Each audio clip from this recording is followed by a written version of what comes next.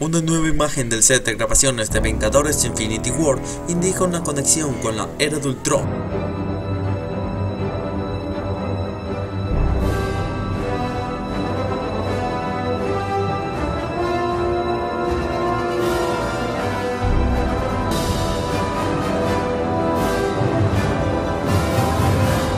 Guardianes de la Galaxia Volumen 2 ya lleva recaudado en la taquilla mundial más de 400 millones de dólares y aunque Spider-Man, Homecoming, Thor Ragnarok, Black Panther están por en medio, Marvel Studios lleva trabajando desde hace dos meses en el rodaje de Los Vengadores Infinity War. Después de un breve comienzo en Atlanta, la grabación se trasladó a Escocia y precisamente gracias a ese set hemos podido observar una curiosa conexión con la era de Ultron. De un publica un usuario de Twitter, los fans se con un elemento de la era de Ultron en Infinity War, dirigida por los hermanos Joy y Anthony Russo.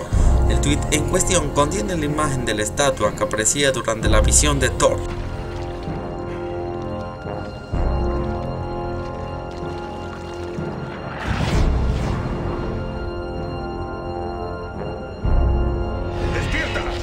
En la película dirigida por Joss Whedon, nos referimos a la estatua de un dios asgardiano de rodillas con la espalda clavada en el suelo.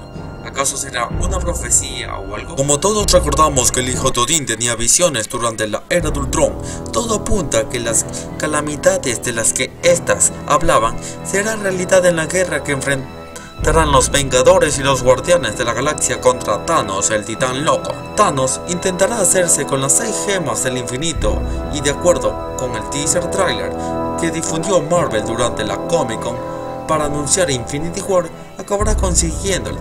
Mientras el dios del trueno de Marvel protagonizará su película Thor Ragnarok a partir del 27 de octubre.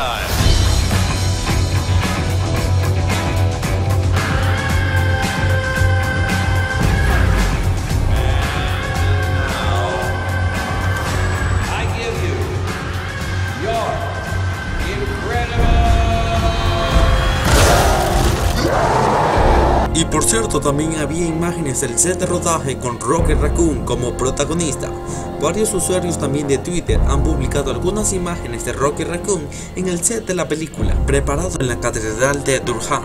Como sabrás, este personaje que acaba de regresar a las salas de cine con Guardians of the Galaxy tiene la voz de Bradley Cooper en su versión original. En las fotografías, no obstante, no se encuentra el actor que lo interpreta por el medio de captura de movimiento.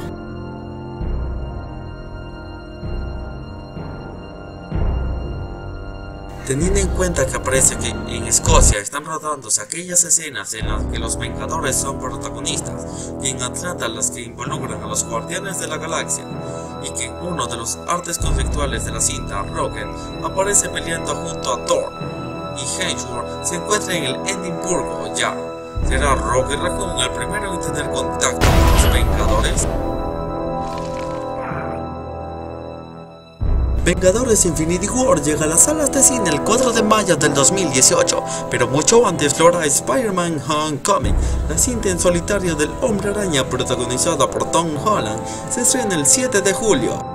También Kevin Feige confirma que en algún momento habrá un crossover entre las películas y las series de Marvel. The Defender de Netflix y Marvel se estrena el 18 de agosto del 2017, con numerosos guiños de las series de Marvel como Agent of S.H.I.E.L.D o Daredevil a las películas del universo cinematográfico, no es de extrañarse que en algún momento llegue a acercarse a la realidad un crossover entre sus filming y sus ficciones. You stole evidence from my crime scene.